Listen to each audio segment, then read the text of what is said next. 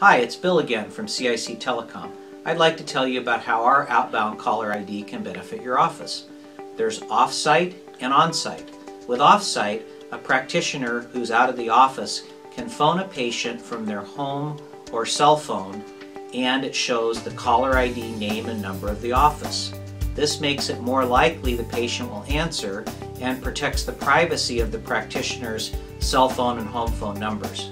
With on-site, no matter which line you choose to call out in your office, line 1, 2, 3, 4, 5, or another, it shows the main caller ID number and name of your line 1, making it more likely patients will answer, and it prevents giving out accidentally your backlines.